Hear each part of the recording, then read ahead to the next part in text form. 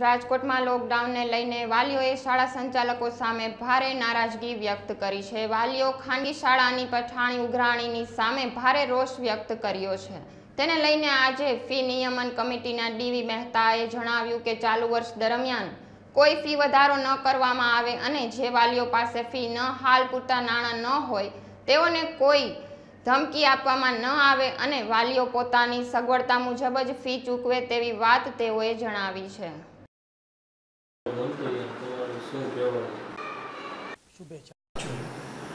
ખાસ કરીને ફી વધારાનો અત્યારે પ્રશ્ન નથી.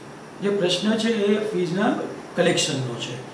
આપણે જોયું છે કે રાજ્ય સરકાર સાથે સેલ્ફ ફાઇનાન્સ સ્કૂલ એસોસિએશને તેરમી એપ્રિલે એક એટલે એગ્રીમેન્ટ જેવું અથવા એક અન્ડરસ્ટેન્ડિંગ જેવી વાત કરી હતી, કે જેમાં અત્યારની પરિસ્થિતિને ધ્યાનમાં રાખી અને ખાસ કરીને ઘણા વાલીઓ છે, એ વાલીઓને ઇન્કમની વખતે મુશ્કેલી હોય લિક્વિડિટીનો પ્રશ્ન હોય, તો તેને ધ્યાનમાં રાખી અને માર્ચ, એપ્રિલ, મે એની જે ફીસ હોય, એ ફી ગયા વર્ષ ઓગણીસ વીસની ત્રણ વર્ષની ફી બાકી હોય, તો ફીસ છે એ જૂન, જુલાઈ, ઓગસ્ટ અને સપ્ટેમ્બર, ઓક્ટોબર, નવેમ્બર, એમાં પચાસ પચાસ ટકા ઉઘરાવી એવો વાત હતો. અને બીજી વાત હતી કે વર્ષ બે હજાર વીસ એકવીસની ફીસમાં કોઈ વધારો ના કરવો અને ત્રીજું કે વર્ષ બે હજાર વીસ એકવીસ એમાં એક એક મહિનાની પણ ફી વાલી આપે તો એ પ્રકારની છૂટછાટ આપવી. એટલે ખાસ કરીને મુખ્ય ઉદ્દેશ એ હતો કે અત્યારની પરિસ્થિતિમાં જે લિક્વિડિટીનો પ્રશ્ન છે, બીજો કોઈ પ્રશ્ન નથી. પ્રશ્ન છે એ નાણાકીય પ્રવાહિતાનો છે.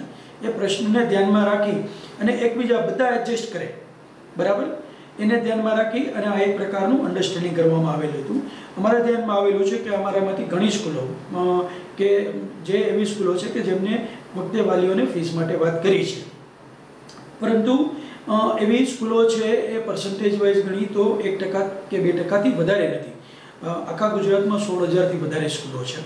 ત્યારે આવી દસેક સ્કૂલોના હિસાબે આખા શિક્ષણ જગતને આપણે બદનામ કરીએ માફિયા જેવા શબ્દો યુઝ કરીએ તો મને એવું લાગે કે શિક્ષણ છે કોઈ પણ દેશનું ચીફ ડિફેન્સ હોય.